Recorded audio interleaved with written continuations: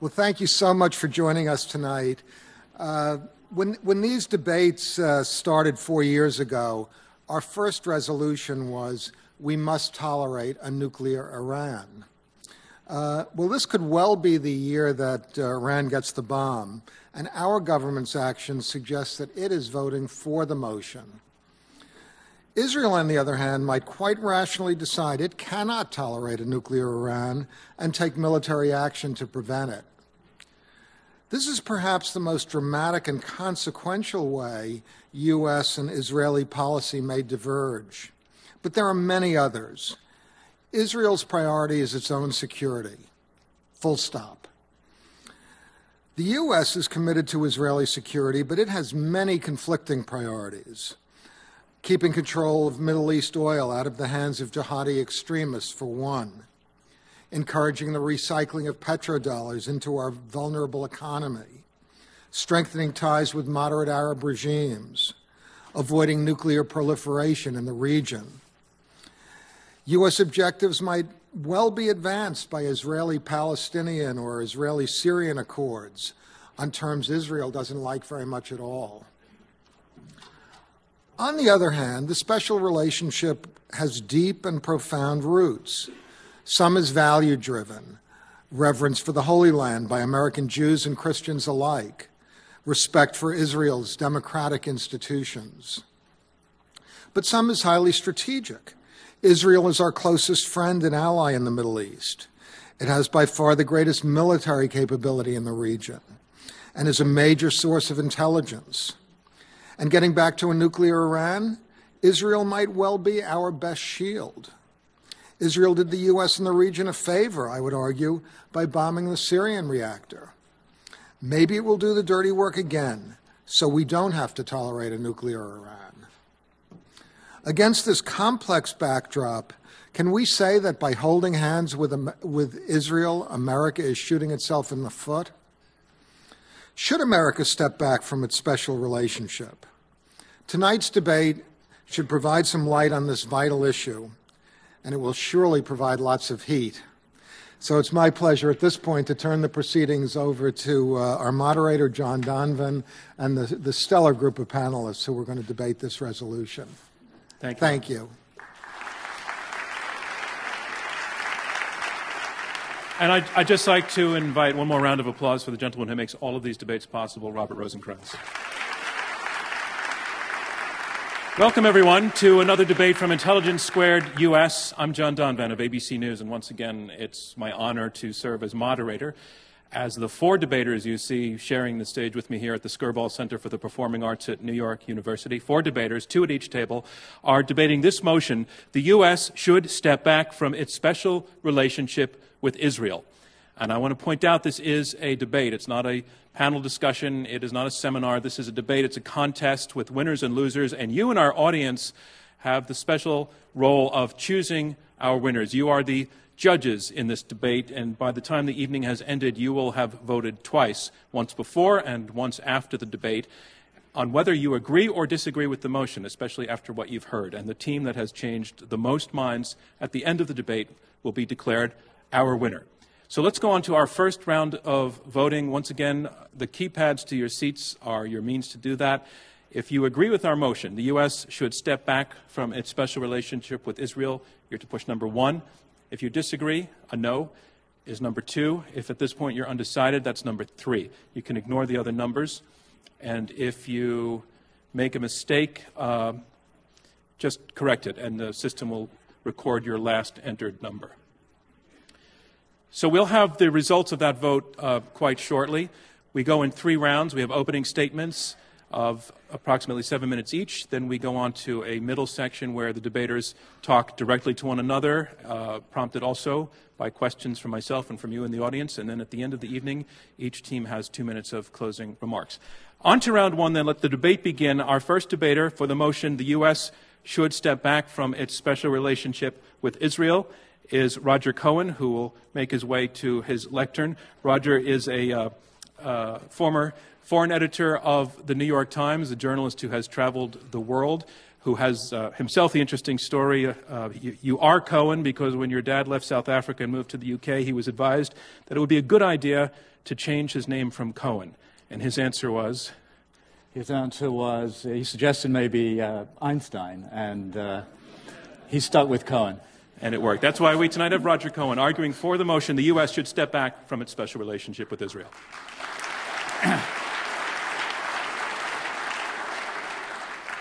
Good evening, ladies and gentlemen. In life, when we fail, we call it stupidity to burrow deeper into failure. Measured by any standard, American policy toward Israel has failed over the past couple of decades. We are no closer to any kind of peace. Israelis and Palestinians today stand further apart than ever. They are estranged, they are mistrustful, they're antagonistic, they can scarcely even imagine peace. We will therefore submit to you tonight that rather than burrowing deeper into failure and so jeopardizing American interests, the United States should reconsider its ties with Israel. It should step back from its special relationship in favor of a normal relationship. Now, normal relations between allies, and the United States and Israel must remain firm allies, are often marked by differences. With France, with Japan, with Germany, with Turkey, important allies all. America has regular and often open disagreements. What makes America's relationship with Israel special is its uncritical nature, even when US interests are being hurt. What also makes the relationship special is the incredible largesse that the United States shows towards Israel. Over the past decade, $28.9 billion in economic aid. And on top of that, another $30 billion in military aid. That's almost $60 billion. That's 10 times the GNP of Haiti that is being gifted to a small country. Now, I ask you, to what end is this money being used? Ladies and gentlemen, we would submit that to ends often inimical to the American interest. Take the, emer- take the ongoing Israeli settlement program in the West Bank. At a cost of about $100 billion, this enterprise has grown the number of settlers in the West Bank from about 140,000 in 1996 to about 300,000 today. If you add the roughly 150,000 Israelis in East Jerusalem, you get to a number of 450,000 Israelis beyond the 1997 border. That's not all. Money has poured into a repressive apparatus involving settler only highways, reserved military areas, a separation or security barrier, the Israelis call it separation wall, hated separation wall, the Palestinians call it, a barrier that burrows into the West Bank and annexes 10% of the land. What's the result of this? Well, the result is an isolated, fragmented, atomized, fractured, humiliated Palestinian presence that simply makes a nonsense, a farce of the notion of two states for two peoples. What I observed there on my visits to the West Bank amounts to a kind of primer in colonialism. Imagine Israelis in their fast cars blackberrying away, booming down these superhighways, while Palestinians on their donkey carts make their way on dirt tracks, if they can get there, to their orchards. Uh, this is a primer in colonialism, much more than it resembles a nascent Palestinian state.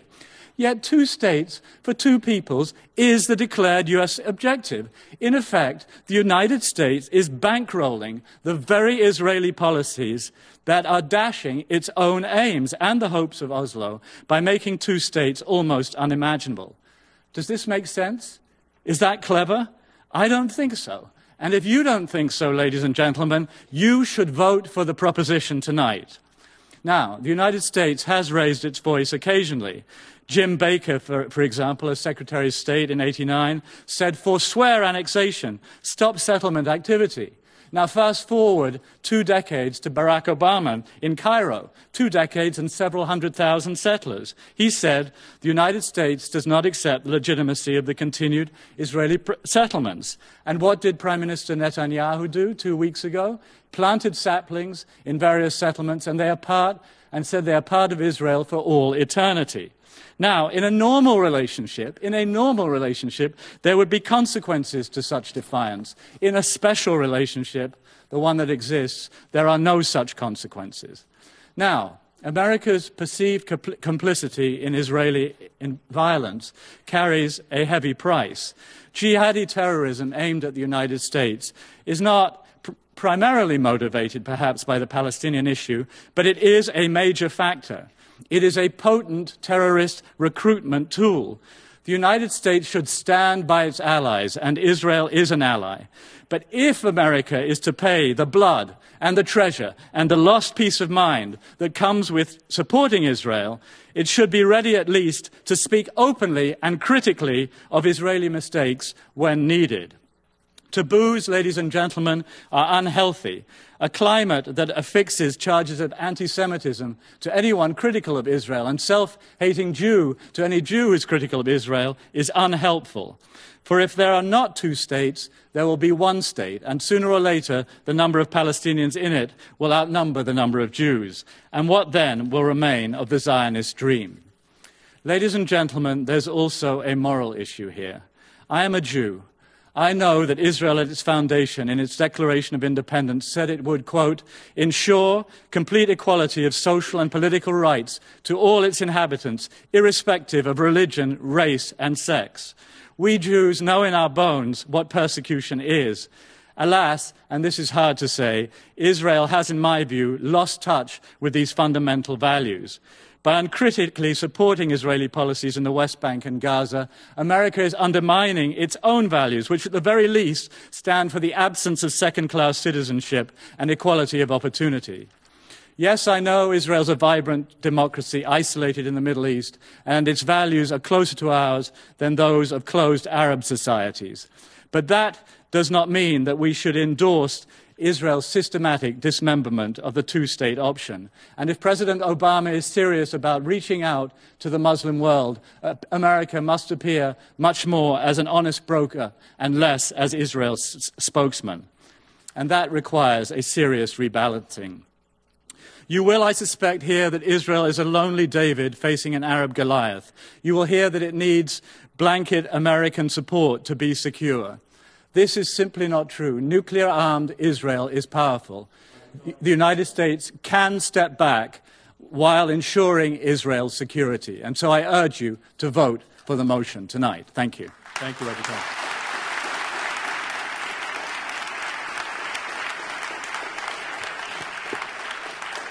Our motion is the U.S. should step back from its special relationship with Israel and arguing first against the motion, Stuart Eizenstat, who has been a former ambassador to the uh, European Union, but his career in government service is astounding when you go through his uh, his resume. He has had undersecretary positions in commerce, in treasury, in the State Department. You didn't get agriculture? Not a farmer. Ladies and gentlemen, Stuart Eizenstat.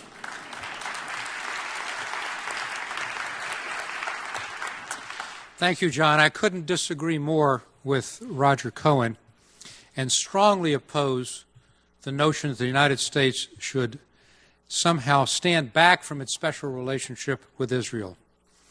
And I do so for the following reasons. First, if the United States would do so, it would betray the very principles upon which U.S. foreign policy is based. Unlike China or Russia or some of our European allies, our foreign policy since our founding fathers has never been devoid of morality. Indeed, morality is a central feature of our policy. As the first country to recognize Israel in 1947 after the Holocaust as a refuge for Jews, we would be betraying those principles were we to step back from the special relationship we've developed over 62 years. Second, it would mean abandoning the only democratic, loyal, reliable ally in the region, which shares American values of democracy, rights for women, judicial independence, freedom of speech, and forming a 21st century culture. It's the only state in the region which has a vibrant non governmental sector, so that on policies that Roger mentioned, there are groups like Peace Now, B'Tselem and others who are vibrantly and publicly opposing those policies, the only country in the region which permits that kind of debate and criticism of the government. In addition, it's not just American values, it is American interests. Israel shares American interests in combating terrorism, in creating pro Western, moderate Arab states in the region, in stopping nuclear proliferation, and in having peace with all of its neighbors. In addition, if we were to withdraw that special relationship, it would be a sign of American inconstancy and weakness. What message would it send to other allies? Would they think they were going to be next on the chopping block? And indeed, to do so would only lead to more demands from those in the region. America has to stand behind its allies because if it doesn't, it will not have many left anywhere. In addition, the whole notion of this motion misunderstands the major issues facing the United States and the region, and I have spent an enormous amount of time and energy in that region in multiple capacities. Issues that we have with Iraq and Afghanistan, Pakistan and Iran, terrorist groups like Al Qaeda are unrelated to our special relationship with Israel. Indeed, what is going on fundamentally in these states is a contest internally within the Arab world between modernizing states and radical Islamic states who want to create an Islamic caliphate for the whole region, unrelated to Israel. Unrelated to Israel.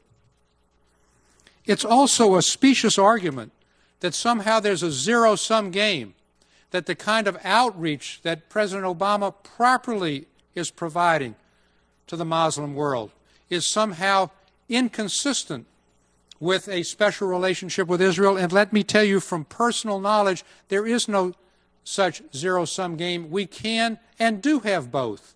We have a very close relationship, and I spent a lot of time in countries like Egypt and in Jordan and in the territories and in the Gulf helping build that relationship. And indeed, let me point out that it is because of the special relationship with Israel that the Arab states know that the way in which Israel will make concessions is when it has a dependable American ally so that it can make those territorial concessions. And I've seen it happen at Camp David under President Carter. All of Sinai given back. I've seen it happen with Jordan and the peace agreement with Jordan. Roger says there's been no peace. I mean, I, I don't know where you've been. How about the Egyptian peace, which has lasted now for over 30 years, and the Jordanian peace? And those concessions continued. For example, Prime Minister Barak in the Clinton administration, in which I served, at the second Camp David, offered 95% of the land, including East Jerusalem, to Yasser Arafat. And what was the response? No, that's where the second intifada occurred. What was the response when Israel unilaterally withdrew from Gaza? What was the response? Rockets from Gaza. Dismantling the settlements, dismantling 3,000 people.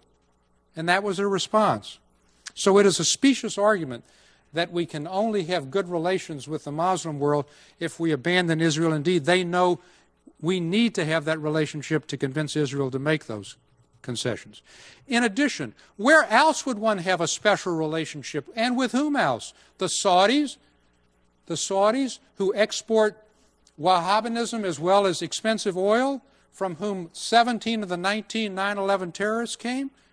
Would it be Egypt, where I've spent a great deal of time? I think we need stronger relations with Israel. It's unfor- uh, with Egypt. It's a one party state, 28 years, the same president. The opposition candidate was arrested when he ran against Mr. Uh, uh, Mubarak. Afghanistan, Pakistan, Lebanon, where is the special relationship? And let me close with this thought. When you say, where, why don't we have peace with the Palestinians? If there were a Martin Luther King, if there were a Mahatma Gandhi leading the Palestinian movement, they would have had statehood long, long, long ago. It is because there is no reliable Palestinian partner It is because of the Hamas Fatah problem. It is because when the Israeli public sees a withdrawal from Lebanon or a withdrawal on their own from Gaza, instead of reconciliation, they get rockets in response. That's why we don't have peace, not because uh, Israel doesn't want peace. And last, there are certain things with which we disagree with Israel, as we do with all allies, settlement policy and so forth. I didn't notice, for example, that Germany or the UK or France is providing the kind of troops we want in Afghanistan. You can have a special relationship with allies and not always agree. Therefore, I strongly urge you to vote against this pernicious motion which would undercut the very basis of foreign policy in the United States, the only bipartisan foreign policy which we have in this country.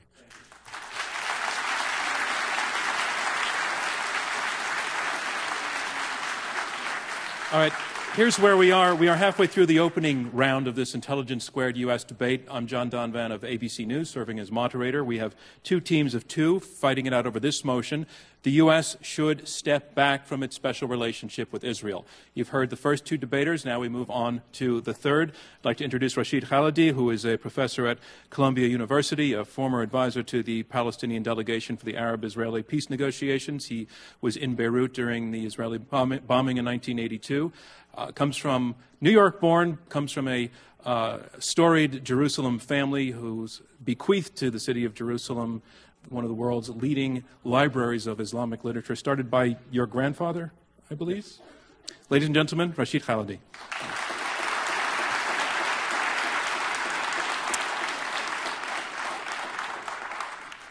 Good evening, ladies and gentlemen. Thank you for braving the impending snowstorm. Um, you've heard from our opponents, uh, or one of our opponents, uh, uh, a pattern that we've heard a great deal of. And if you listen to the advocates of the special relationship with Israel, you would think that all is for the best and the best of all possible worlds. Well, I'm here to tell you that it's not.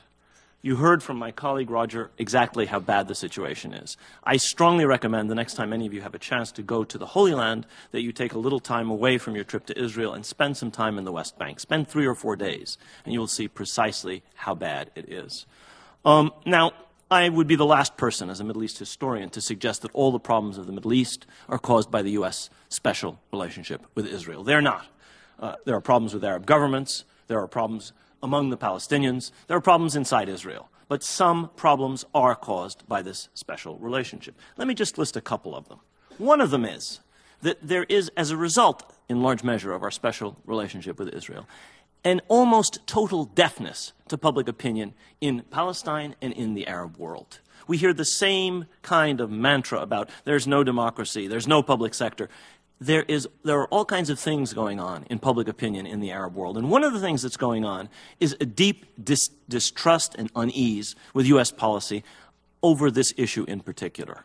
A second thing that has to be said is that there is a suspicion in public opinion in particular, all over the Arab world, of the fact that the United States in the Middle East, because of this special relationship, is not and cannot be an honest broker. Uh, everybody knows that the United States engages in prior coordination with Israel as a result of an agreement made by Secretary Kissinger back in the 70s, before anything starts between Arabs and Israelis. Everybody knows, in other words, that there's a big, fat U.S. thumb on the scales when the United States acts as a mediator. I recall in the negotiations in Washington, we were at an impasse with the Israeli side. And uh, we were told, after much reluctance on the part of the State Department, that the United States would come with a bridging proposal. We were very pleased. They came with a bridging proposal that was worse than the position that the Israelis had offered us. This is what the special relationship gives you. It gives you a country that cannot act as an honest broker. And let me say something about United States reliability. Let me say something about what the United States looks like after 20 years when American presidents, since President Carter, have said not just that they were going to make peace with Egypt, which they did, but that they were going to make peace between the Palestinians and the Israelis. We have systematically failed in this effort over the past 20 years. The situation is, uh, 30 years in fact, the situation is infinitely worse today than when uh, Ambassador Rabinovich and I went to Madrid in October of 1991. It's worse for the Palestinians. It's worse for the position of the United States in the Arab world. If you care not what autocratic governments think, but what the people think about us. And this brings me to the main reason you should vote for this proposition. You, could, you should vote for this proposition, in our opinion, because the United States should be true to its principles. It should be fair, it should be equitable, it should be just. We give, as Roger said, $60 billion over the past 10 years to Israel. Uh, we are, in effect, engaged in supporting an occupation that has been going on for 42 years and counting. We are, in effect, underwriting settlements. And we're not just doing that with U.S. money that's fun- U.S. tax dollars out of our pockets that's fungible.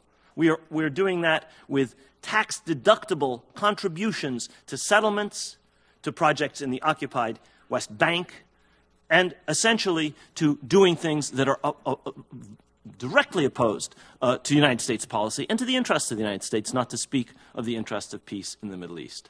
Uh, we hear a great deal about security whenever Israel is talked about. We have to be concerned with Israel's security. Fine. We have to be concerned with the security of everybody in this region if we are going to be an honest broker, if some people are not of a higher uh, importance to us than other people. What about the security of Palestinians? In the, in the recent war in Gaza, it wasn't really a war, it was a one sided uh, uh, affair. There were 1,400 people killed on one side and 14 on the other side. If we're concerned with human security, we should be concerned with numbers like this. We should be concerned with the fact that everybody knows that we are engaged not just in funding, financing, supporting diplomatically, but also in selling weapons uh, that are engaged in doing these kinds of things. Now, what can the United States do? In my view, it can do many things. It's not enough to say, oh, it's a shame the Palestinians are divided. The Palestinians are divided. They have deep, deep internal divisions. The United States has been working systematically to deepen those divisions. The United States should be helping to unite the Palestinians around a consensus whereby they can come forward and negotiate rather than trying to keep them divided as we've been trying to do. If our objective is not to weaken them, which is an Israeli objective. If our objective is peace, then there has to be not just an Israeli consensus for peace, there has to be a Palestinian consensus for peace. We have done everything possible to prevent this. This is one thing that we can and should do. What else can we do? I would argue that our policy should be linked not solely to what the stronger party, by far the stronger party in this relationship wants. That is no way to make peace again and again, what the United States has in effect done is to help gang up on the Palestinians. The United States has to pull away from the special relationship with Israel if it is to play any kind of effective role in making peace. Now, uh, this is particularly true because the hardest issues between the Palestinians and the Israelis, much harder than anything that had to be dealt with between uh, Israel and Jordan or Israel and, and Egypt, have to do with issues that resonate all over the Arab world things like refugees, things like Jerusalem. These are not easy issues. If we stand with the stronger, as we have done consistently on these and other issues, if we stand with Israel and ignore the fact that these are not just things on which there's a claim on both sides, but most importantly, these are things that will negatively affect U.S. interests if we take a one sided position. We are harming U.S. interests throughout the region. If you vote against this proposition, I would argue you are voting for the status quo. You are voting for more of the same. You are voting for a peace process that has delivered a lot of process and no peace. And that is what we have gotten from every administration up to this point. We have peace with Egypt. We have peace with, we have peace with, uh, with Jordan. Peace with the Palestinians is much farther away. Uh, I would suggest that voting for this status quo is to say, in effect, we're going to bury our heads in the sand we're going to allow a two state solution to disappear. I personally don't think it has very many chances anymore. But if this is something that is important, if we do not want the future for Israel that uh, uh, uh, uh many Israelis see, where Israel continues to rule over the Palestinians, we should vote in favor of this proposition. Thank you very much.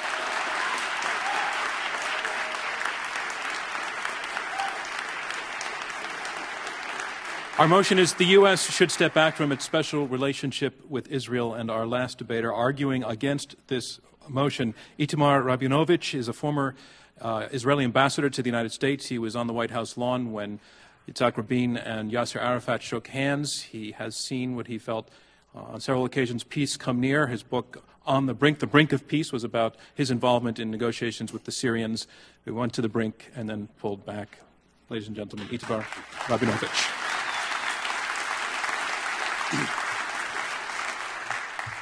Thank you. I, I urge you strongly to vote against, uh, against the motion. Uh, I think that the motion uh, indicates uh, a desire to destroy the United States' most important, most successful relationship and a very important part of the world. What does special relationship mean? It does not mean that the tail is wagging the dog. It is a mutual relationship. I was an ambassador to Washington for nearly four years. I was a peace negotiator that worked very closely with the United States peace team. And I know how many disagreements we've had over the years with our American colleagues. How many times what we call pressure was brought to bear on Israeli decision makers. Even presidents who were considered very friendly. Bill Clinton considered a great friend of Israel. He was a close friend of Yitzhak Rabin. He admired Rabin, but I've seen them argue fiercely. And I've seen Rabin yield to Clinton because he was the President of the United States, the senior partner in this special relationship. Now, what is special about the relationship? It's special, it's unique, because you have unusual loyalty on both sides. You have many relationships around the world, as was mentioned. Is your relationship with France so close? Doesn't France undermine U.S. interests and policies in parts of the world? Japan is a close ally. Look at the arguments you are having with Japan over stationing of U.S. troops in Japan. You will not have such an argument in, with Israel because there are no U.S. troops stationed in Israel. It's a very close military and strategic alliance, defined, among other things, by the fact that Israel does not want American troops to be stationed in Israel. Israel wants to look after its own security with American help, with American weapons and equipment, but on its own. And not having to station troops in Israel or in that part of the Middle East because Israel is there is a huge advantage.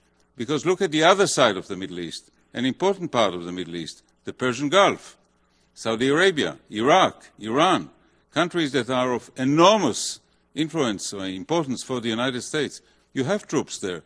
You have many American troops at a huge cost in Iraq. You have troops in Afghanistan. You have troops stationed in Saudi Arabia.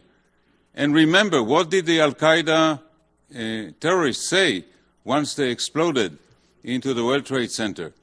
The first, the first reason they cited for the U.S. Uh, uh, uh, for attacking the U.S. is that the United States has troops on sacred Muslim soil in the Arabian Peninsula. In Israel or in near Israel, you don't need to station U.S. troops. It's a very close alliance. It's an alliance based on mutuality, on uh, full uh, loyalty on both sides, acceptance of, of course, the seniority of the United States in that relationship. And this relationship serves you in an area in which many, many American interests are focused. Now, the argument, the argument of the people who put this for, for a vote, the argument of our opponents in this debate, is that uh, support to Israel undermines uh, American position in Arab public opinion and uh, reinforces uh, Arab and Muslim tendency uh, uh, to terrorism against the United States. Wrong. What Arabs resent most, as I said, is American military presence, American support for uh, dictatorial regimes. Let me read a very perceptive uh, comment written uh, a while ago. Iraq has changed everything in Washington, a city obsessed with the present. It was easy to forget that as recently as a few years ago, the United States was not particularly disliked in the Middle East and that Al Qaeda was a tiny underground organization with almost no popular support. Very perceptive, Professor Khalidi, who wrote these, these lines. So we.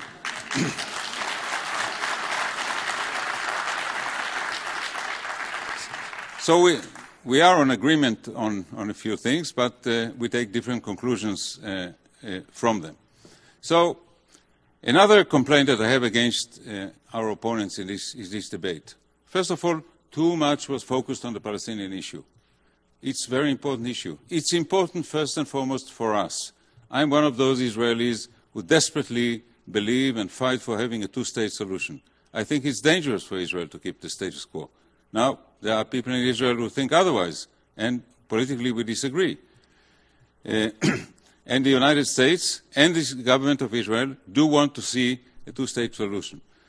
But the Palestinian problem is not the only one.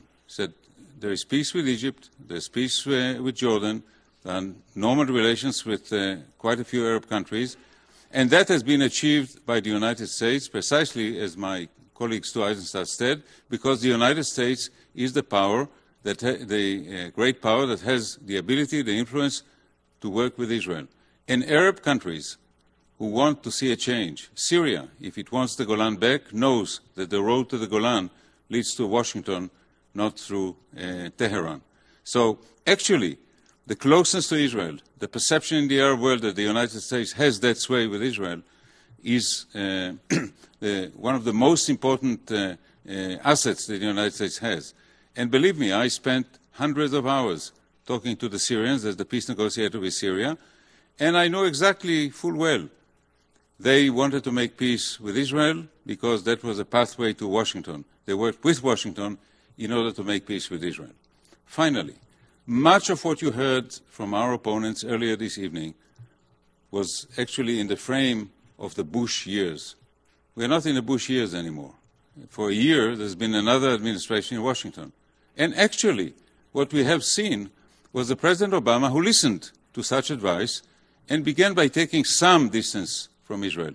He went to Cairo, he gave the, the speech to the Muslim world, he didn't go to, to Israel.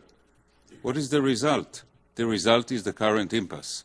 It was a mistake to take even one step because the voices that he heard from the Arab world was you took one step, go all the way. That is the mistake.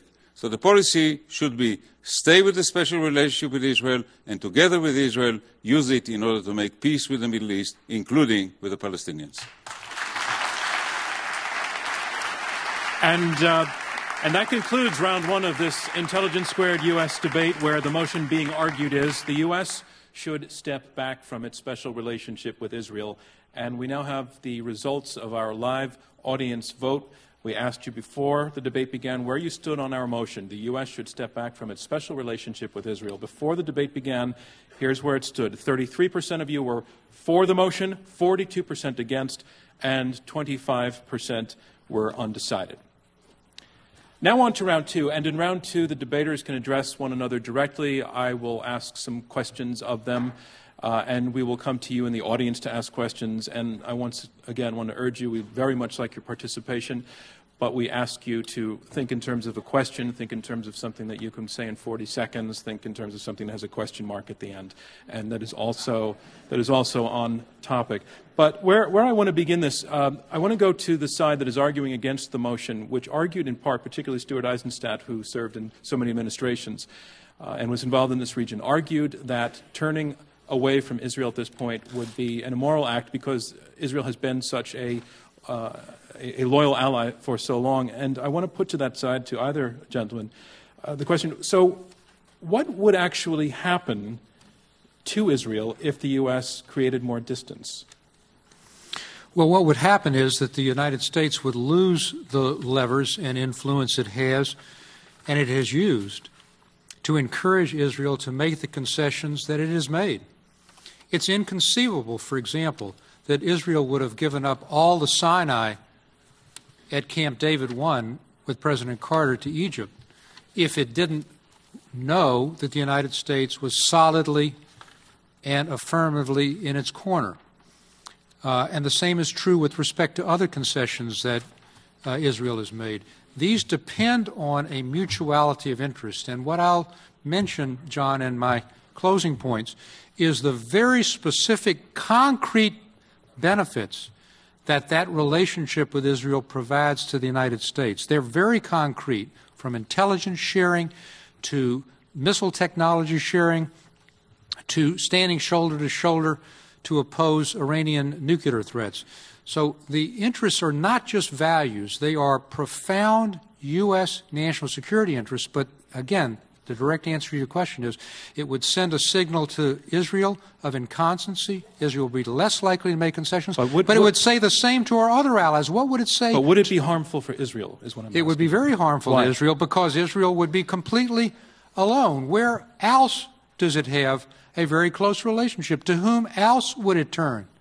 for support. I mean, in the 1967 war, at the maximum time of their danger, right, when the state was almost eliminated by all the Arab countries, their prime arms supplier was not the United States of America, it was France.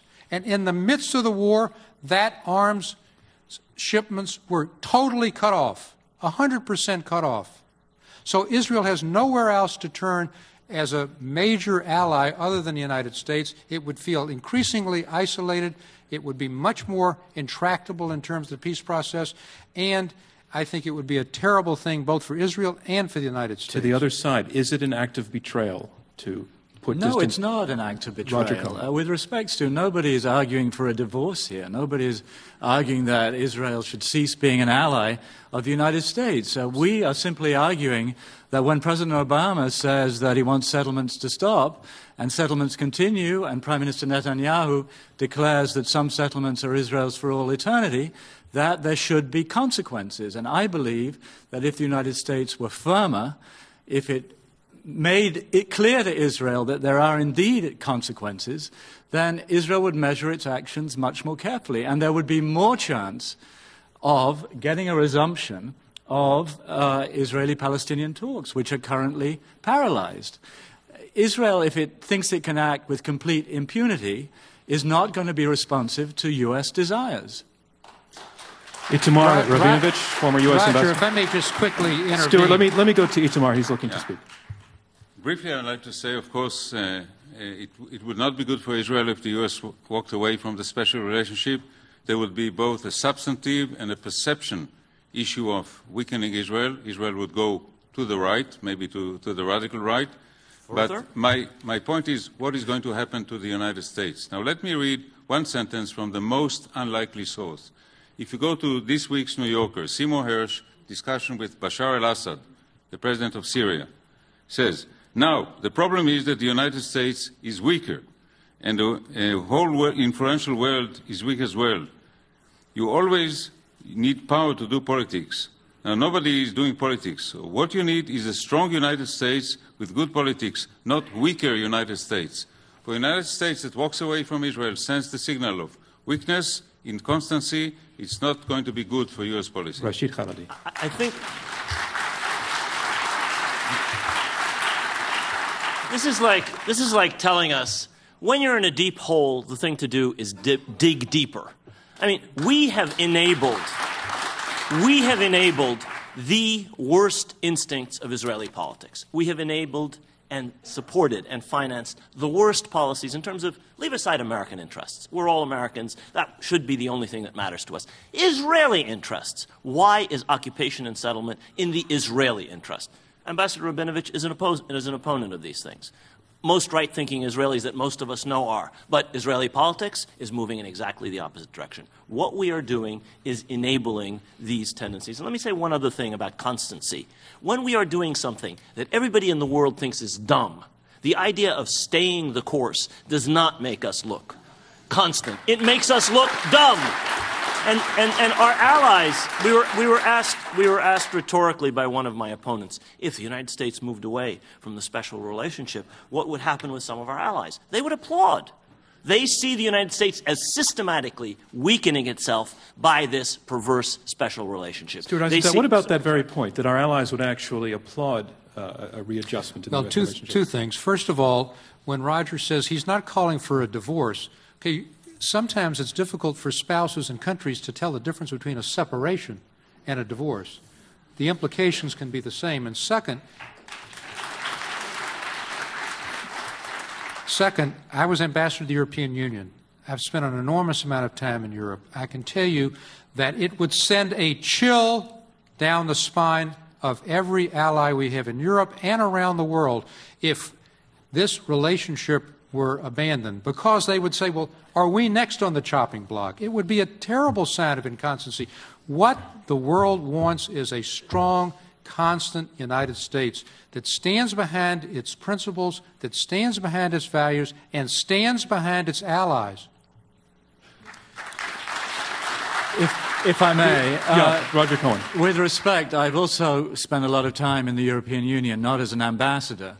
And my perception of European publics and European governments is that many are bewildered by the extent and degree of U.S. support for Israel and would applaud some modification of that relationship. The, um, the side arguing for the motion said that made a rather cogent argument, quite logical, that the, the U.S. Uh, relationship with Israel raises the question of whether the United States can be an honest broker in the Middle East. What, take, take that on either side against the motion. We've both seen it from different perspectives, myself from the United States perspective and Itamar from the Israeli perspective. Every moderate Arab country knows that only the United States can talk to both sides. It is the only honest broker. And indeed, if it were to withdraw from that special relationship, it would lose the capacity to have the ear of the Israelis in the way it does now. It is an honest broker. That's why, even though there's a quartet with the UN and Russia and so forth and the EU, it's only the United States, the secretaries of state, the president, who are the active ingredients in the peace process. The Arab states know that, the Europeans know that, the Israelis know that.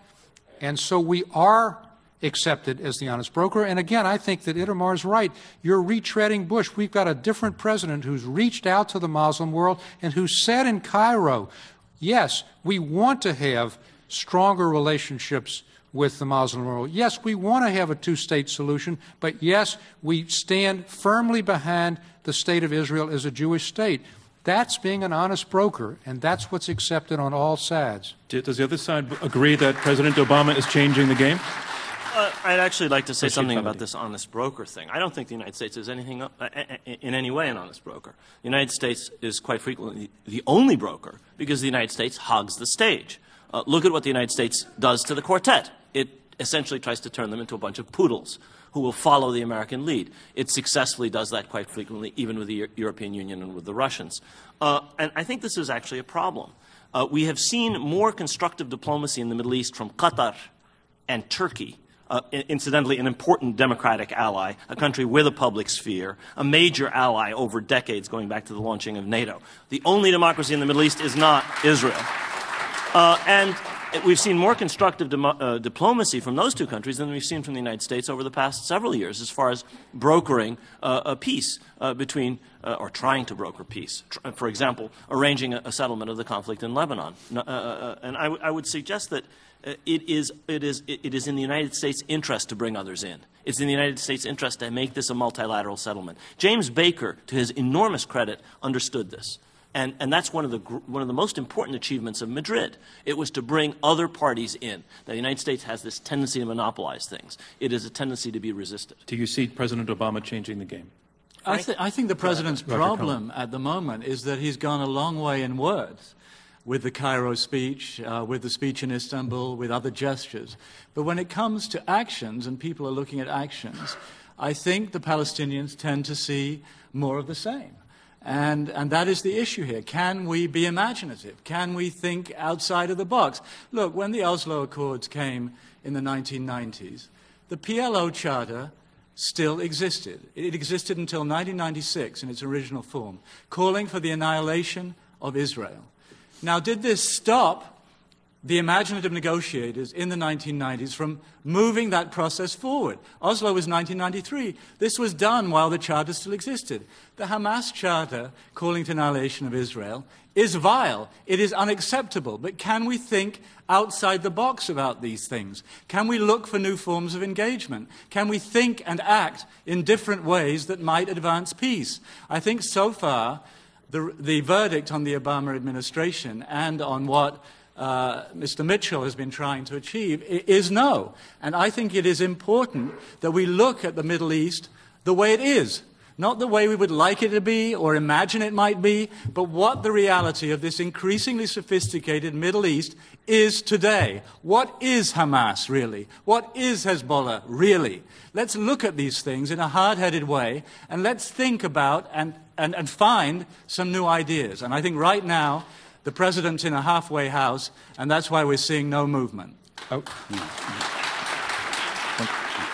I, I want to let Itamar Rabinovich uh, answer that question, but I, I want to, after that, get to questions from the audience, so I'd like to, to uh, disperse our microphones and bring the lights up. Itamar, your response. Yeah.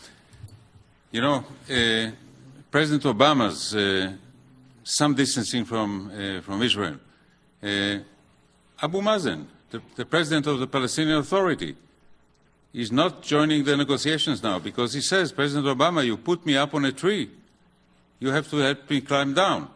Because when President Obama seemed to, to be taking a pro Palestinian, anti Israeli position at, at the outset, his expectation was that the Muslim and Arab world would applaud. The real reaction was, give us more. We will not come to the negotiations. You have to deliver Israel. It was a very bad mistake. And uh, Roger, when you say, think out of the box about the Hamas Charter, which is not an anti-Israeli, an anti-Semitic document, speaking about the protocols of Zion, I don't know how to think outside the box about that. I would rather be in the box. So,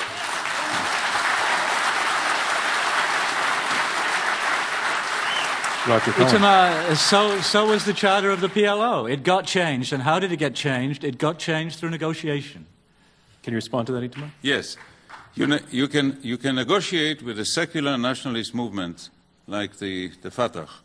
Uh, Hamas is a radical religious fundamentalist organization, and you cannot negotiate with people who have these strong religious convictions. Israel, Israel is negotiating with them.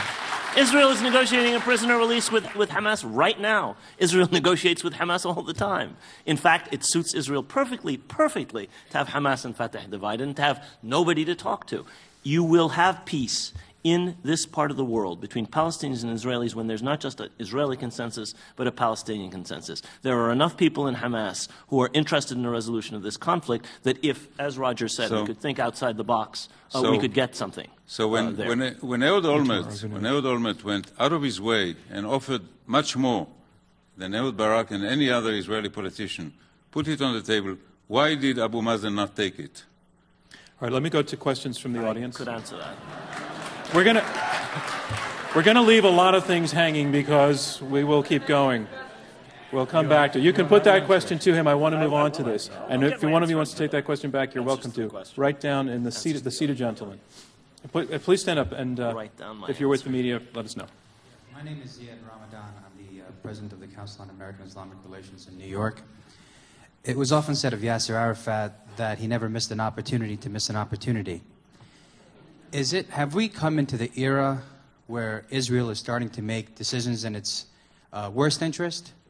That Chas Freeman, who was a nominee for one of the top intelligence posts in the United States, criticized them and said that himself before he pulled his nomination due to criticism from Israel and uh, American uh, elected officials. Are we entering an era where Israel continuously makes decisions And, and that how, hurts how, its you, future? how would you relate that also to the issue of U.S. interests, which is our topic tonight? No, and, and I'm, you can. I just want to see you do No, it. absolutely. Um, we, as an American, I think that uh, I think back as a Palestinian myself. I'm jaded whenever they say whether it's Jimmy Carter or Bill Clinton or Ronald Reagan or George Bush Senior or Junior. It's it's always said that we're going to work towards peace in the Middle East. And it always seems like an Israeli prime minister spits in the face of the U.S. president and says, It doesn't matter what you say. We're going to do whatever what we want to do, and we're still going to take your billions from you all the time. So, as my tax dollars are going to build settlements where, where Yeah, I do need a question. But what's your question? my, I, I apologize. No, I want a question that's on our topic. Uh, Is, is, it, is it in the U.S. interest to support Israel financially while they continuously um, disagree with what Thank we you. want them to do? uh, Swing swing us to this side.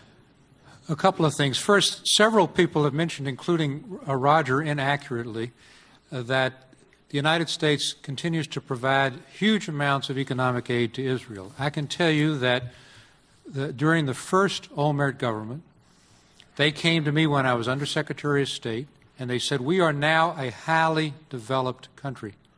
We don't need and we don't want that economic assistance. And they came to us, and I negotiated the total cutoff of that aid. There's not a nickel in economic aid being given to Israel. The aid now is all economic. Security. And the other the side- aid With is respect, all given for security A- a purposes, not report- economic Roger, let purposes. All bring you- security. Roger Cohen. Well, no, a congressional report just put the total at $28.9 billion over the past decade. So, how you can state Stu, that there is no economic aid going from the United States to Israel, uh, I don't know. Uh, in response to, to, your question, sir, I, I, you know, critics of Israel uh, are often told that they are anti-Israeli. Uh, my response is no. Uh, I think I have the long-term interest of Israel uh, in my heart. And uh, to say uh, that it is in Israel's interest uh, to go on uh, building these settlements strikes me as the height of foolishness. Because what will be the result of this?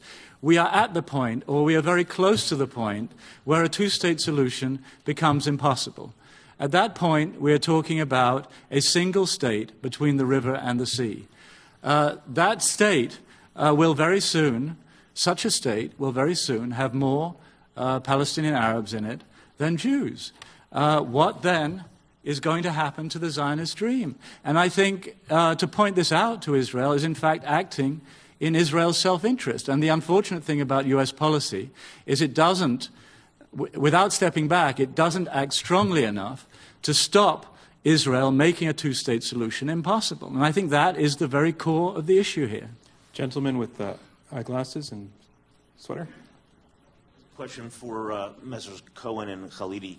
Could you bring the mic a little bit closer? When Stuart Eizenstat said earlier on in the debate that had the Palestinians had a Palestinian version of Gandhi or King, there would have been a two state solution a long time ago. Is that a statement with which you agree or disagree? And if you disagree, why? And separately, what is the answer to the question that we lost as we transitioned into the Q&A? Why did Abu Mazen turn down the deal? Why don't Thank I you. answer that?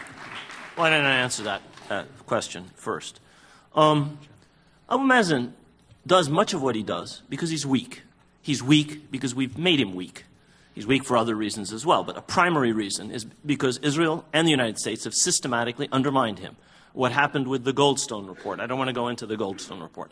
Abu Mazen was pressured, was blackmailed, was threatened by the Israelis uh, to, uh, in effect, prevent the consideration by a United Nations human rights body of a report that was critical both of Hamas and especially of Israel.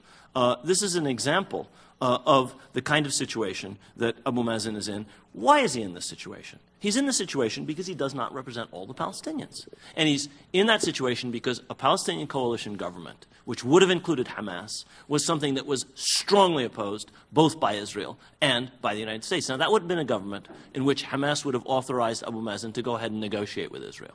That would have been a government that might conceivably have reached an agreement or might not have. But it certainly would have been better than the situation we're in. And let me just make one point about the special relationship. One of the things that the special relationship does is it imports Israeli considerations into U.S. law.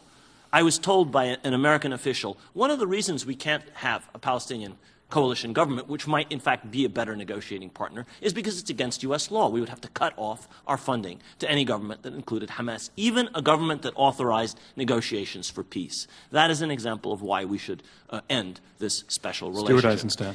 I want to I want to answer the question and connect an important thread and say something I haven't said publicly before because there's a connection.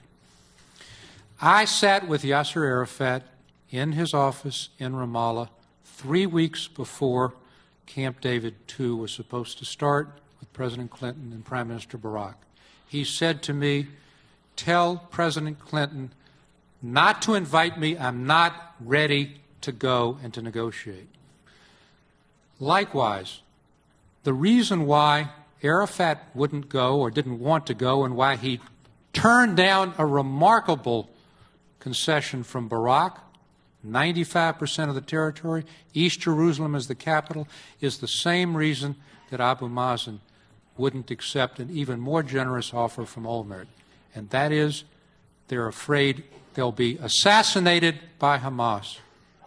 That's point blank the reason. And the radicals in the Palestinian movement, who I do not believe are in the majority, have a tremendous hammerhold over the moderates. Let's go to another question. Uh, gentlemen, yes, uh, yellow tie. You can stand and Michael. Yes, I'm sorry, I meant on the other side. Forgive me, I'll come back to you. I, I owe you a comeback. Hi, Mike.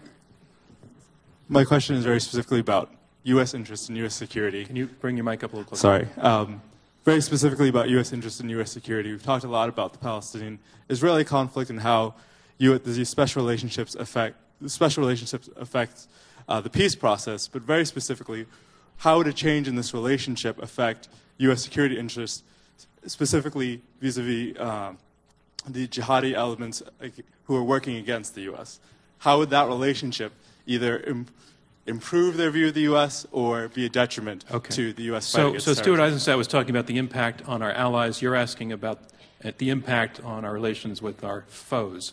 Which side would like to take that? Well, I think if you Cohen. can advance uh, a Middle East peace, uh, clearly uh, you are going to withdraw, remove a very powerful uh, recruitment tool uh, for the jihadis. They, if you look at Osama bin Laden's speeches going back a very long way, if you look in the 9 11 report at what Khalid Sheikh Mohammed said, the, the mastermind of 9 11, about how uh, policy toward the Palestinians was really what drove him toward the thing. It wasn't his stay in the United States, it was, it was what he observed of U.S. Israeli policy toward the Palestinians. So if you can appear more as an honest broker, if you can move this paralyzed process in some way, uh, then I think uh, you could advance U.S. security uh, in that respect. Look, have the Palestinians made mistakes? Have there been offers on the table that should perhaps have been uh, accepted? Yes, but we're not talking about the past. We're talking about trying to move forward here. That is what this debate is about uh, tonight. And I think to throw out uh, the ultimate offer when he was already uh, had great legal difficulties, was on his way out of office. Uh, it really wasn't uh, uh, credible uh, at that point. So I, I don't find that in any way persuasive. Itamar Rabinovich. Uh, two issues. One, the terrorism. That support for Israel increases terrorism. You, you're all New Yorkers. You live in New York. Open the magazine last week. Very interesting story about a young man from Alabama, Omar Hamami, who grew up in a small town in Alabama and is now fighting with Al Qaeda in Somalia. Very interesting, long article in the New York Times magazine. The word Israel does not appear once. He became a terrorist not because of Israel, but because of other reasons. Secondly, I want to go back to the point raised by uh, Stu Eizenstat before. Gandhi, other, other leaders. Abu Mazen is not weak because the United States or Israel weakened him. He's weak because he is weak. Where you have people, people who made people who made peace. Gandhi was not made by the British. Mandela was not made by the Americans. And uh, King Hussein and uh, Anwar Sadat, who signed peace with Israel, were strong leaders. That's why they could take the countries to, to peace. So unfortunately, we have not had the kind of Palestinian leader who become who could, could become the Palestinian Mandela, uh, who would bring about the uh, rapprochement, the reconciliation between Israelis and Palestinians. This comes from an Israeli who wants that. Let, let me say Chief something. Faladou. Let me, let me say something. Let me say something about this, the sainted Nelson Mandela, a man who I think we all greatly respect. He headed an armed movement. He was not a, an apostle of nonviolence. He led an armed movement that succeeded in forcing a political resolution of a conflict. Now, I personally am a believer in this conflict now, that nonviolent means are the, the best means for the Palestinians. Uh, I don't think, however, that we should get too mystical about this. There are many uh, colonial, many oppressive, many occupation regimes that would never have disappeared but for armed, violent resistance. I, that is something that that is something that that is something that's very painful to say because in this country we have a constitution. And what Martin Luther King was calling for was that we live up to the highest principles of this country. I argue that in the Palestinian case, that would be appropriate, although for other reasons. Uh, but, in, but, but to say in a situation of occupation and in a situation of, of oppression. This is not two equal parties. These are not two states. There is one country between the Mediterranean and the sea. It occupies the entirety of the territory. It's the only sovereign state. It has ruled every single Palestinian in that territory, some of them as citizens of the state of Israel, a minority, four million of them as helots with no rights for 43 years. Let's resistance to, uh, back to the resistance in that please. case is legitimate. Good evening.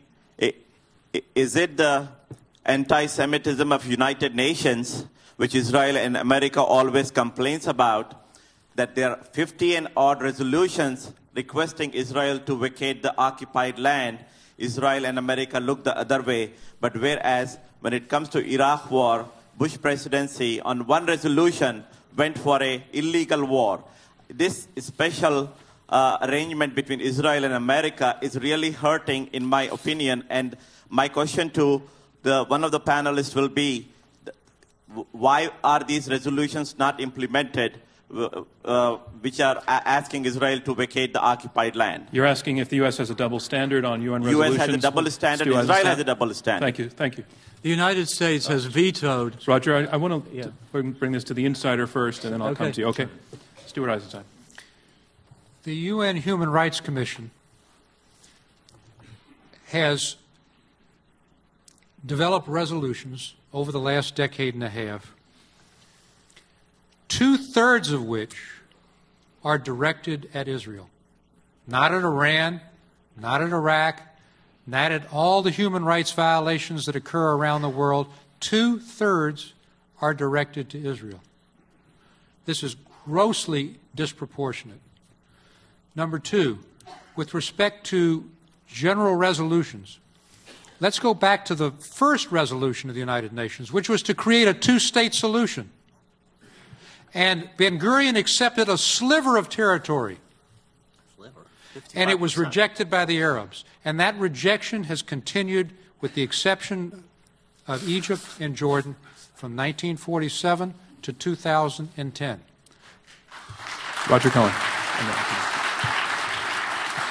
Uh, sir, well, the United States has vetoed uh, more than 40 resolutions critical of Israel over recent years. That's more, I believe, than all the vetoes put together of all the other members of the Security Council.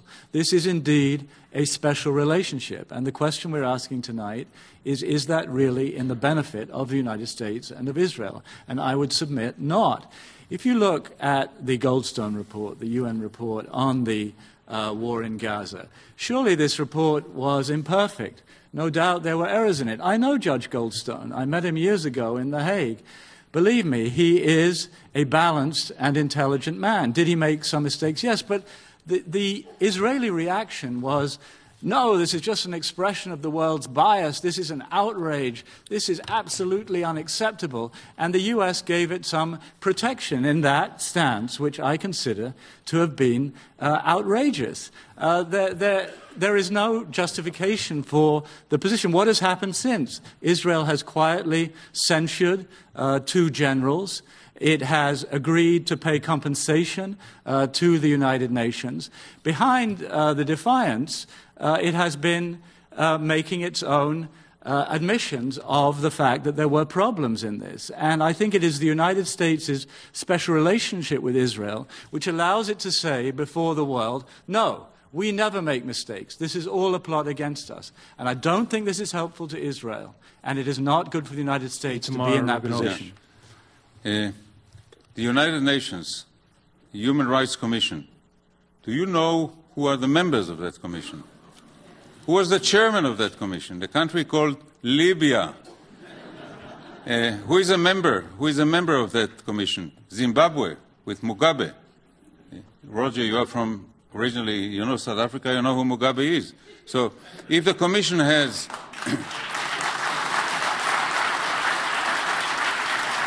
Libya, as Libya and Zimbabwe and countries like that, it has no moral authority. And Goldstone drew, drew his mandate from a place without moral authority. Rashid Khalidi. Yeah. Um, as someone whose father worked for the United Nations, uh, I, I'm going to defend this institution. I think it ill, it ill it does not behoove those who uh, are, are friends of Israel to bash the United Nations. The birth certificate of Israel is delivered by the United Nations in the form of the resolution that Ambassador Eizenstat mem- mentioned, the, the partition resolution of 1947. Now, that did not give uh, uh, the issue of a sliver of Palestine. It gave 33% of the population that owned 6% of the land, 55% of the country, some sliver. Let me say a couple of other things. I cannot let some of these things pass simply as a historian. We are told, we are told that the Arab countries have been rejecting everything since 2010. A majority of Arab countries came to the Madrid, Peace Conference. Ambassador Rabinovich and I saw them there. Now, what kind of rejection is it when they come to a peace conference? They all voted in favor of an Arab peace resolution in, in, in Beirut and, and one before that, way back in 2002. This is not rejectionism. We are told about remarkable concessions. Remember, when a country is in illegal occupation of territory and it agrees to give it back, there are various ways of talking about that. I would not use the word concession. Thirdly, Thirdly, Rashid, I just want to ask you, how long is your list? Pardon me? How long is your list? I have, I have two more, but I'll go, I'll, I'll go for one. Thank you. Okay. Uh, we were told that in 1967 Israel was almost eliminated. If you go to the U.S. government documents and you go to the extraordinarily ample Israeli documentation, you will see that not one Israeli military intelligence or American military intelligence report or military uh, officer of, of, of, field rank and above thought that there was any chance of Israel being defeated, let alone eliminated, in the 1967 war. I know people here believed that was a that possibility. I know that many people in Israel feared it. But that was not a possibility at the time. Uh, I could go on and on. Okay. All right. I'm going to go back to a question here. I, I need to do a little bit of uh, announcing for radio. I just want to remind everybody we are in the question and answer section of this Intelligence Squared U.S. debate. I'm John Donvan of ABC News. Uh, as, acting as moderator, we have four debaters, two teams of two, debating this motion. The U.S. should step back from its special relationship with Israel. Gentlemen, standing now with gray suit, red tie. Question. Thank you. Uh, my name is John Gurkoff. Um, among other things, uh, I'm affiliated with Tel Aviv University. Uh, a question I have is or a, state, a small statement, but then a question is all the attention tonight has been against Israel or, or for Israel or, or, against the United States or for the United States, but um, the Palestinians have to start taking some responsibility for what's going on. Uh, and the question I have is what have they done over the last 40 years to instill the confidence in the United States to maybe uh, ease up on the relationship or, or become more, as you say, even handed? And what can, do you think they should be doing or can be doing to instill the, the, the uh, confidence that you, you two have that, they, that the United States should end that relationship? Thank you for the question. It's a good question. That's a very good question.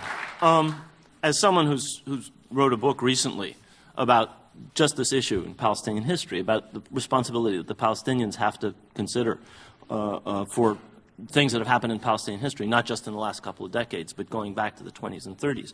Uh, I think it's a question that should be asked by Palestinians and to Palestinians, and I, I, I, uh, I take the point. Um, what, what can Palestinians do? Uh, firstly, they have to get their act together. It's absolutely essential that there be a Palestinian consensus on how to get out of the mess that they're in. And that's up to the Palestinians themselves. Nobody else can do that for them. And that's the first thing. Uh, uh, we're talking about Israel because that's the proposition before the House. You voted on something about the United States and the Israeli special relationship. But I think it's a good question anyway, because this is a key element uh, uh of this problem. The Palestinians, I have to say, have not just been systematically divided uh, by outside forces, they have failed to unify themselves. The Palestinians have not just failed uh, to generate some of the leadership that I think they deserve. I've been very critical of Palestinian leadership in the past. It is, however, the case that their leadership has been systematically subject to assassination, not just by Israel, also by Arab governments. And they have problems not only with Israel, they have severe problems with all of the Arab governments with which they have to deal. Governments which, by and large, are not democratic, governments which, by and large, do not represent their own people. And that's another problem that we're not discussing here but which I think is well worth Thank discussing. Um, I, I, just want to ask: Are there are there no women with questions? Thank you. I, I didn't see you before. Right in the center. We're gonna right we're gonna do three women in a row here now. Right in the center. Do you have a microphone? There's one over here, John. Okay, I'll, I'll come back. I'll, I will come to you. Can you can you bring the mic a little bit closer? It might not be turned on. Can it's you hear me? On, it's not on yet. Try one more time. It's not your fault. Hi, can you hear me? Yes. Okay, my name's Rima Hijazi. I'm a master's in Near Eastern Studies at NYU. Um, the idea of morality has been mentioned by both sides. It's been mostly invoked by Mr. Eizenstat, saying that we can't end this special relationship because it would be undermining the morality that is what the special relationship is. And I would like to ask you, Mr. Eizenstat, why the principle of morality is not being applied to the case of the Palestinians. So when you discuss that justi- justice and fairness is important, what would justice and fairness look like in the West Bank and Gaza? What can Israel do for justice, for justice and fairness to exist there? And can you also speak about justice and fairness for Palestinians who live in Israel and have Israeli citizenship?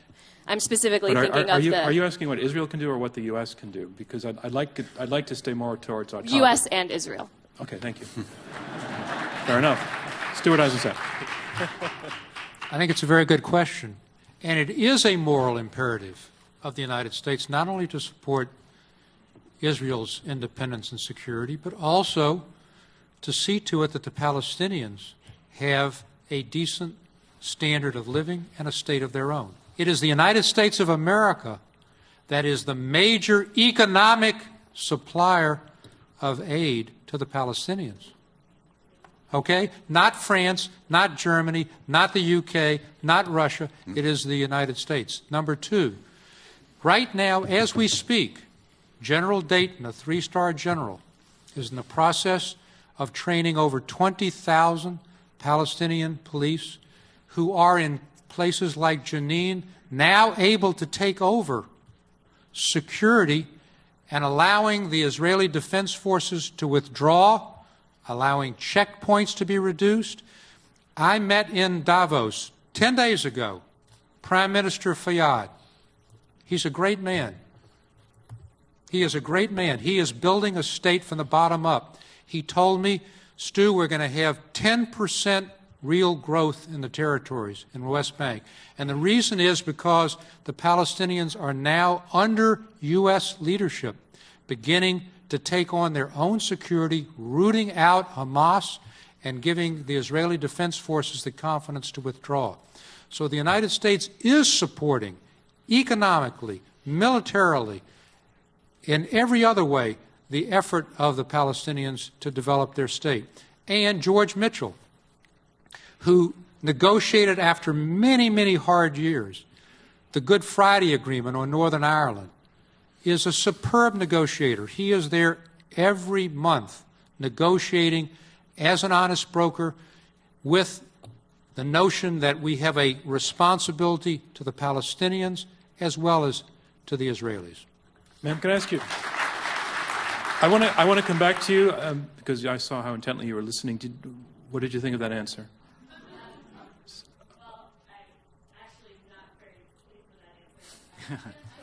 Yeah, yeah, we'll, we'll bring a mic. Let's, let's just let a mic come back to you. But I, I don't want it to go on terribly long. I just want to know if it went to what to the point that you were asking about. I would like to. Is it on? Yeah.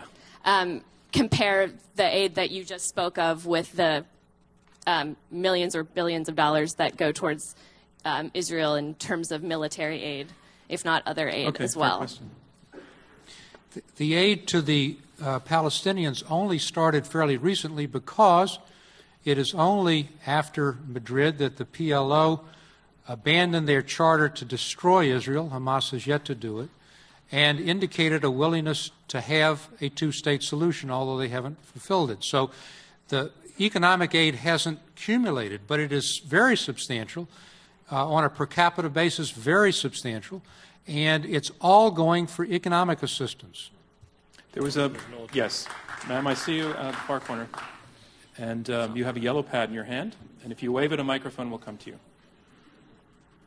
There you are. My name is Sarah Lehman, and I write for the Jewish Press. And I have a statement and a question directed mostly towards Roger Cohen. Can you do more question than statement? Yes, Thank okay. In light of the fact that Israeli concessions over the years have not led to peace because the Palestinians have responded mostly with violence, and also in light of the fact that Hamas charter has not changed its call for the destruction of the Jewish state, and the incitement that continues to go on, uh, anti Semitic incitement and propaganda by the Palestinians under the supposed I, uh, I, need, I need moderate. to come home with this Okay, question. I come see where you're going. Uh, personally, as a Jew, how would you, uh, why would you advocate a severing of the special relationship with America in favor of towards Arabs or Palestinians who wish for your demise? That's a question for Roger Cohen, I'm assuming? Yeah. Uh, anyone? I think I've tried to dis- describe why. Uh, certainly, there have been uh, Israeli attempts, very serious Israeli attempts, to make peace. But if you look at the last 20 years, peace is going to involve an exchange of land. And what has Israel continued to do over the last 20 years? It has doubled, tripled the size of the settlements uh, in the West Bank. And this simply makes it impossible uh, to make that exchange. Look, the, what we just heard about what's happening in the West Bank shows that there's nothing congenital about uh, a Palestinian inability to take responsibility for their lives and for their governance. Uh, given half a chance, I think they are capable of it. But when, if you, have you driven through the West Bank recently, madam? What did you see? I think you saw a fractured, divided Palestinian community, Israeli garrisons on every hill, roadblocks, the difficulty of families to get to the market, to get to the fields, to get to their jobs, and so on. What does this say to Palestinians about the seriousness of Israeli intent to make peace. It says these guys are not serious. And why has it that the excellent Prime Minister Fayyad has not come back to the table? He's not come back to the table because the Palestinians are not satisfied of the essential seriousness of the Israelis. And what is enabling the government of Prime Minister Netanyahu to take this stance. It is the unconditional nature of U.S. support under the special relationship, which is why, ladies and gentlemen, you should vote for the proposition tonight. We're, um, we're coming down towards the end of the question section, so I just want to ask the panelists at this point to be slightly more concise. Okay. Um, so Uh, we're going get a few more questions. yeah. Itamar Rabinovich. Uh, commenting on Roger Cohen's last, uh, last comment, I think in an earlier comment, you actually provided the answer as to why the Palestinians do not negotiate, because you painted a scenario that over the next 10, 20 years, if the status quo continues, there will be one country with a Palestinian majority. Now, this fact has not been lost on many Palestinians, and support for the two state solution has dwindled among the Palestinians because many of them say, you know, let's sit back and wait, and it will be all ours because there'll be one man, one vote with a Palestinian majority. And that is a very serious danger. That, that's why there are also commonalities. There's even commonalities between Rashid Khalidi and I because. But Itamar, if that Yeah. danger exists, why is Israel not being more serious about a two state solution, which is the only way to avoid a one state outcome? Because the answer is because the party I voted for lost the last election. Well, there you go. Rashid, Rashid, do you want to Thank come in on you. this? Yeah, I, I want to say something. Um, I, I, Palestinians negotiate. I'm a Palestinian American. I spent three years negotiating. You were dealing with the Syrians. I was dealing with. Uh, with the Israelis. yes, yes. With Eliakim And how Rubinstein. difficult is with that, Eliakim huh? Rubinstein specifically. Um, and what we were what we were facing then was an American commitment under the first Bush administration to do something if the uh, uh, uh, things were done that prejudged or uh, in some way prefigured an outcome. And we came to them and we said, wait a minute, the Israelis are closing off Jerusalem. The closure of Jerusalem was just starting in this period. And settlement is continuing. They're eating the pie we're supposed to be negotiating. And we got no response from the United States. This was in 1991, when for years and years and years, Palestinians were negotiating. Palestinians negotiating with Israel without any problem for that entire decade uh, and got absolutely nowhere. Now, you may say the Oslo Accords. The Oslo Accords immiserated the Palestinians. Palestinian GDP decreased over that decade from 1990 to 2000. Pal- the Palestinians who were able to move anywhere in the occupied territories, into Israel, to the Golan Heights uh, uh, uh in 1990 or 91, 92, were locked into uh, uh, whatever you want to call them, Bantustans, ghettos, whatever you want to call them, by the end of that period of the Oslo Accord. So uh, uh this process of settlement uh, is not something which is just a minor issue. It is a central issue. It is absolutely central. If you, if you expect the Palestinians to negotiate, this is something that should have been stopped 20 years ago, Stewart, not in 2010. You can be concise, Stuart. Professor, I, you're a historian. I was in charge of the economic dimension of the peace process. I can tell you your figures are totally incorrect. Between 1997 and 2000, the territories grew at an average of 5%. Unemployment was down to 8% in the West Bank and 14% in Gaza. 100,000 Palestinians were coming into Israel every single day to work. It was 40% of the GDP of the territories, their remittances. 20,000 Arab Palestinian business people could drive in without any checkpoints. At the okay? end of that yes, period? yes, 1997. And then what happened?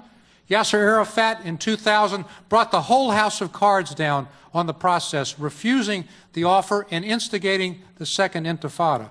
So it's very important to understand cause and effect here. We were on a real process to peace. I personally went to Gaza. I saw the Gaza industrial estate with 30 companies from all over the world creating 1,200 jobs in Gaza. A second phase started.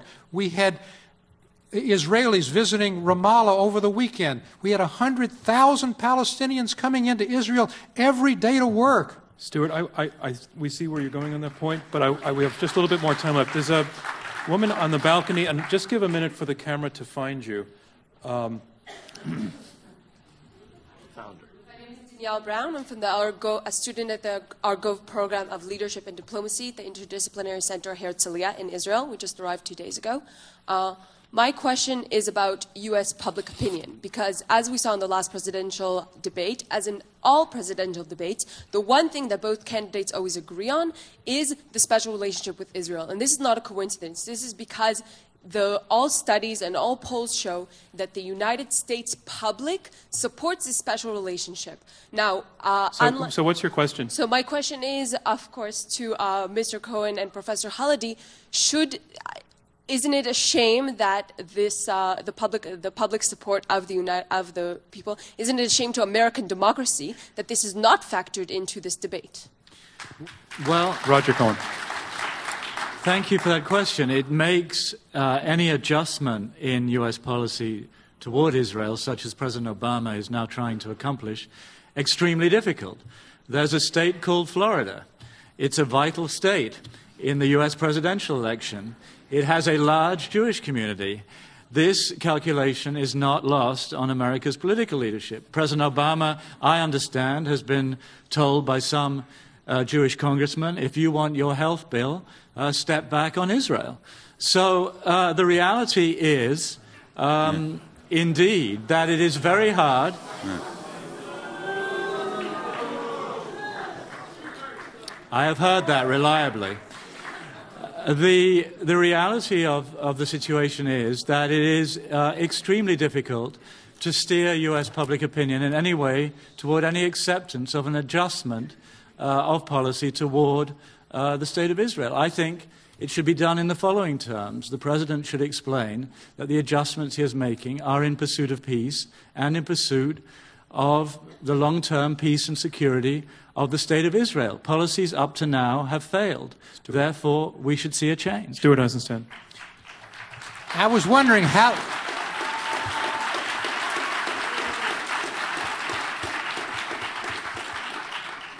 I was wondering how long it would take and who would raise the issue of quote unquote untoward Jewish influence over U.S. foreign policy. And Roger, you finally came to it. Now, let me just say, I've served in three administrations. I I've didn't say involved... untoward. This is this is a dangerous this is a dangerous canard that two percent of the U.S. population has somehow got its hand around the neck of American foreign policy.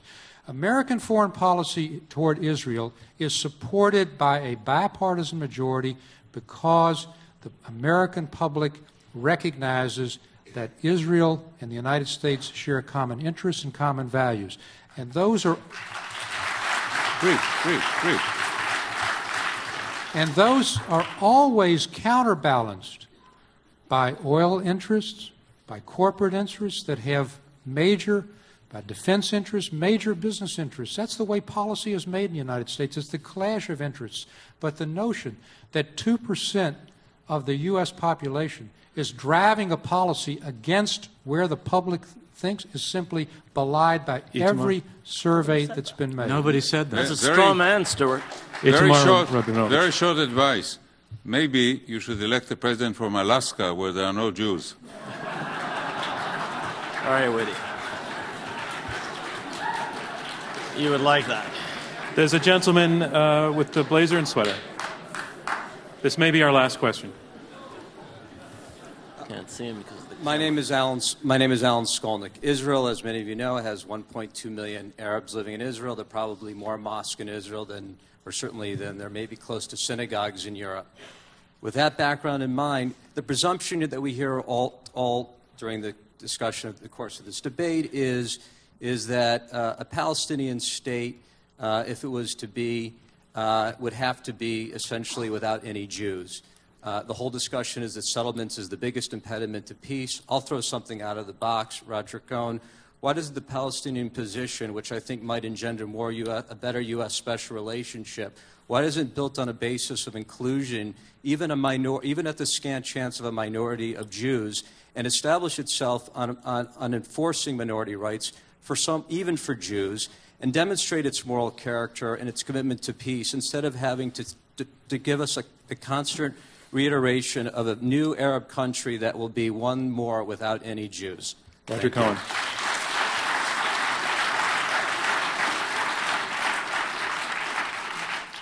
Thank you, sir. I'm not sure there are many Israelis who would want to go and live uh, in the West Bank.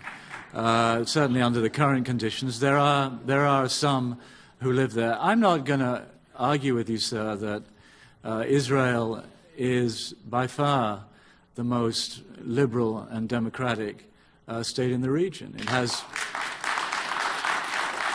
it has it has a free press. It has a relatively independent judiciary. Uh, it has a democratic system. It has remarkable achievements in technology and its economy. It has everything except peace. And what we're talking about tonight is how to steer, how best to steer this remarkable society toward what it's questing for. And I don't think it's through the policies Israel is currently pursuing or through the current backing that the United States is giving for those policies. That is what uh, we are debating. Would, it, would a Palestinian state, if it ever comes into being, uh, should it offer equality of opportunity for citizens of all race, religion, background, etc.? Yes, uh, it should. And that concludes round two of our debate. And here's where we are. We are about to hear brief closing statements from each of the debaters in turn. Those statements will be two minutes each, and it's their last chance to change your minds. And from the live audience beforehand, we knew where you stood before the debate actually began on our motion. The U.S. should step back from its special relationship with Israel. We asked you to vote before the debate where you stood, and at that point, 33% of you were for the motion, 42% were against, and 25% remain undecided. You will be asked to vote once again and pick the winner in just a few minutes from now. But first, we're going on to round three, closing statements. And speaking first against the motion, the U.S. should step back from its special relationship with Israel. Stuart Eizenstat, former ambassador to the European Union under Bill Clinton and chief domestic policy advisor to Jimmy Carter. Number one, Israel is not a recruitment tool for terrorism, as Roger said. It is absolutely not. They recruit on the basis of hatred toward the West and toward secular pro Western Arab states. Number two, Israel has shown when there is a peace partner, Sadat in Egypt, King Hussein in Jordan, that they will negotiate, that they will make uh, concessions, and peace will come when the Palestinian leadership demonstrates a commitment like Arafat, like uh, Hussein did, and uh, like Sadat did. Third, let's talk about concrete benefits. Israel does not just act on its own interests. It, for example, in the first Gulf War in 1991, agreed with President H. George H.W. Bush not to retaliate against the barrage of Saddam Hussein's Scud missiles on Tel Aviv, staying in shelters so that President Bush could keep his coalition together in the first Gulf War.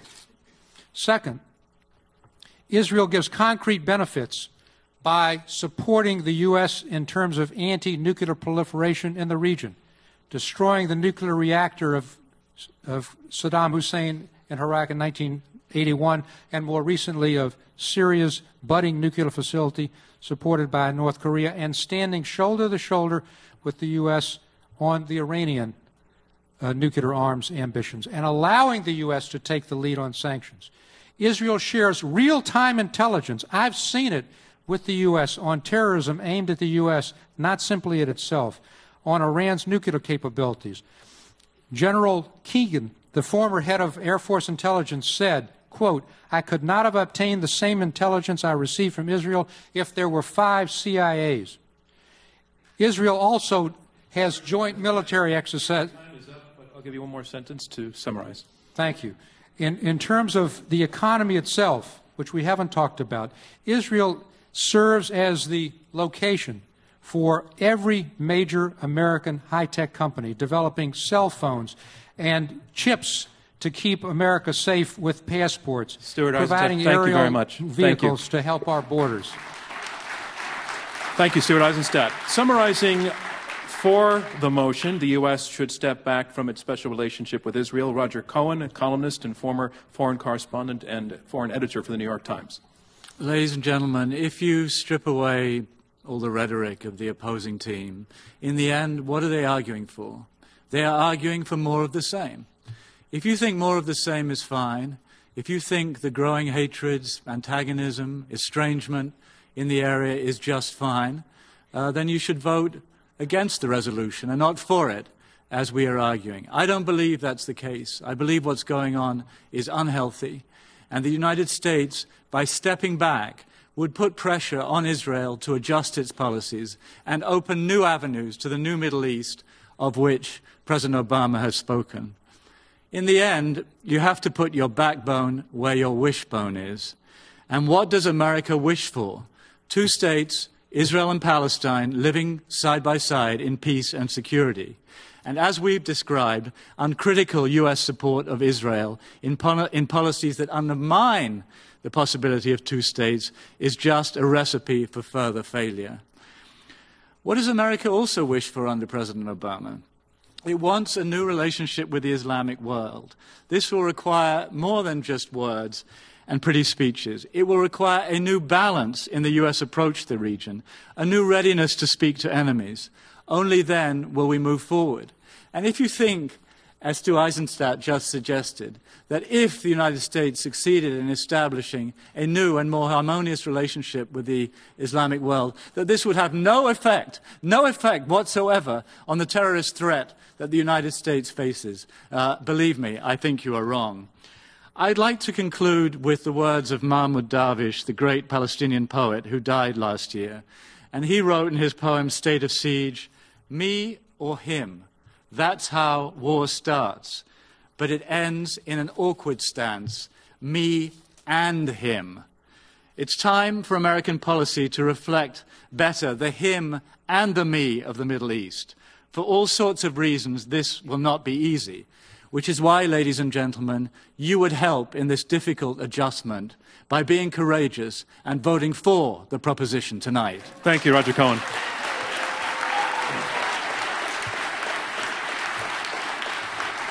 We're on a we're on a little bit of a course of these two minute statements turning into two minutes and 24 seconds, so I'm going to give that to everybody. Thank you. Thank you. Thank you. Our motion is the U.S. should step back from its special relationship with Israel. And summarizing his position against the motion, Itamar Rabinovich, former Israeli ambassador to the United States and chief negotiator with Syria in the mid 1990s. I want to look at a vision, at a dream. The President of the United States on Air Force One landing at an airport in Gaza. Wouldn't that be a great moment? It already happened. Bill Clinton landed with Air Force One at an Air Force in Gaza in the late 1990s. There was an effort by our opponents to describe a unilinear uh, Israeli undermining uh, of any effort to make peace between Israel and Palestinians to the detriment of the region of the United States. But actually, during the last 20 years and 30 years, almost 40 years of a peace process that began in 1973, what kept the peace process going was American Israeli cooperation.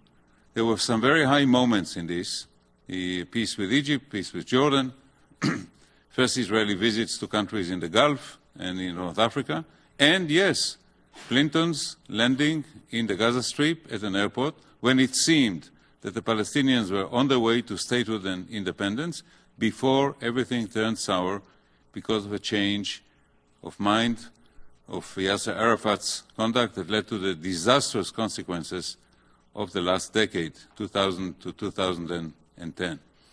Second, I think we had a problem. Our debate was uh, diverted uh, tonight from a debate on the U.S. Israeli special relationship to a debate on the Palestinian problem. A very worthy subject, but not exactly at the focus of the issue. The issue is here is the Middle East, a crucial part of the world. Here is an Arab world, 330 million people, almost uh, half, a, uh, half, a, billion in a decade or two. This is not all subjected to the Palestinian issue. There are many other issues. Iran was barely mentioned tonight. Now I dare you, you go to somebody who lives in Kuwait, to somebody who lives in Cairo, or somebody who lives in Amman, and ask him, what is uppermost in your mind? And he would say, Iran, the Iranian threat, the Iranian bomb, the Iranian expansionism. And what do you expect? I expect the United States to protect me from Iran. And yes, the Iran, Iran, the United States can do that, thank, and thank it can you, do Itamar it with Israel. Thank you.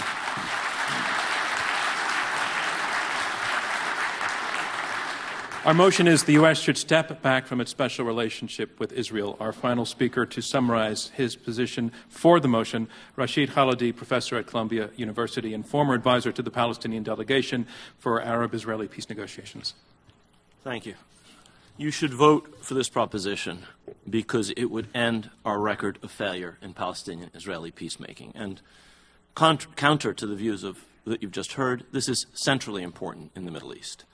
You should vote for this proposition because it would stop the United States from enabling Israel in its worst habits of occupation and settlement, things that harm the United States, harm, of course, the Palestinians, but also harm Israel. Most importantly, you should vote for the proposition because it would help to bring peace and would be in the U.S. national interest. I've said that if you do not vote for this proposition, you are voting for the status quo. More process, no peace. Now, that is not a status quo that is stable. That is a status quo that is evolving, I would suggest, in a fashion not favorable to, I think, most of the interests that most of us share. Let me read a quote briefly. As long as in this territory, west of the Jordan, there is only one political entity called Israel, it is going to be either non Jewish or non democratic. Speaker continued, if this bloc of millions of Palestinians cannot vote, that will be an apartheid state.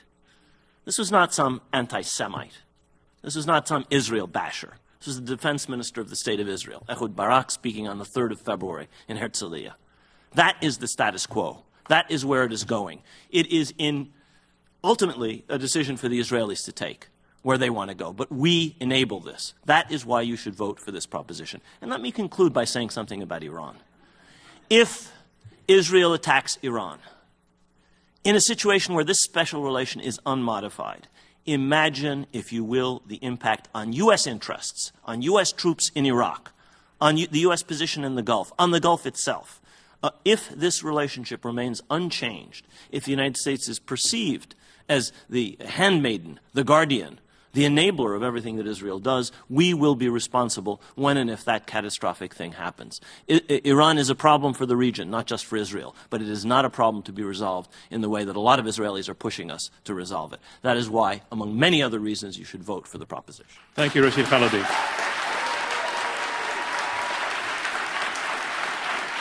And that concludes our closing statements. And now it's time to learn which side you feel argued best. We're going to ask you again to go to the keypads at your seat. Our motion is the U.S. should step back from its special relationship with Israel. If you agree with the motion now, push number one. If you disagree, push number two. If you remain undecided, push number three. Or if you became undecided, push number three. And if you I hear somebody having some trouble. If you push the wrong button, just push it, the one you want to correct with, and it will lock in.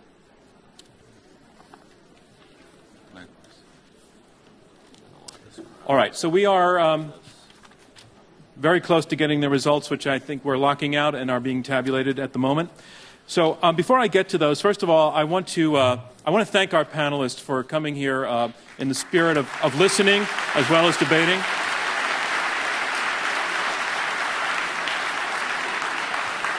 I also, uh, I also want to thank the people in the audience who asked questions because there, there wasn't a clunker among them. Uh, thank you, all of you, for, for your questions as well. Sure okay, you're not sure about it.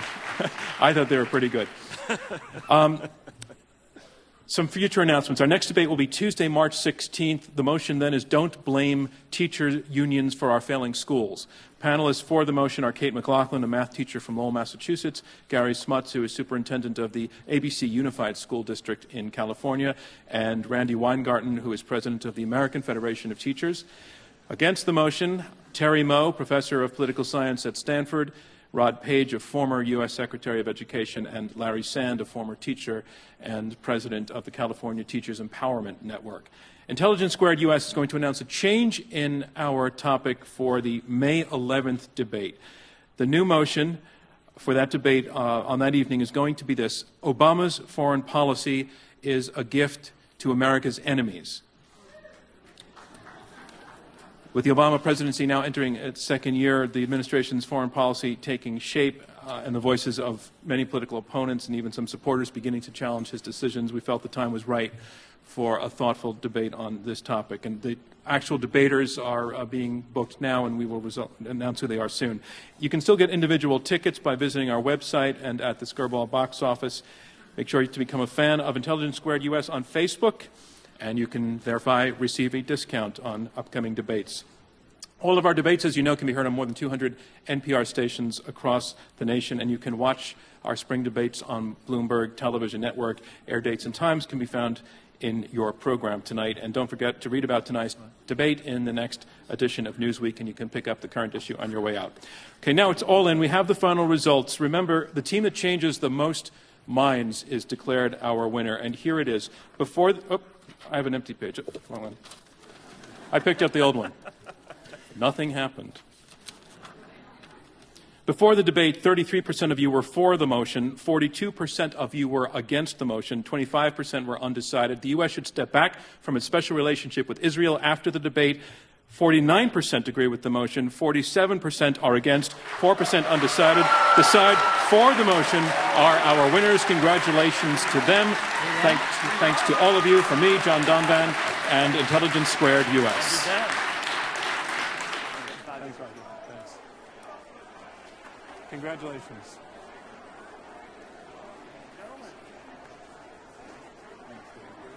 Thank you, Stuart. Thank you. Thanks, you tomorrow.